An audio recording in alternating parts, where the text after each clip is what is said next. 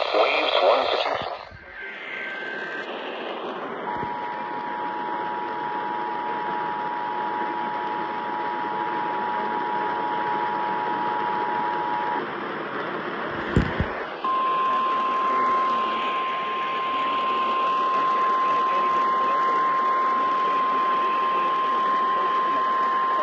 This is a monthly test of the Southeast and South Central Wisconsin Emergency Alert System.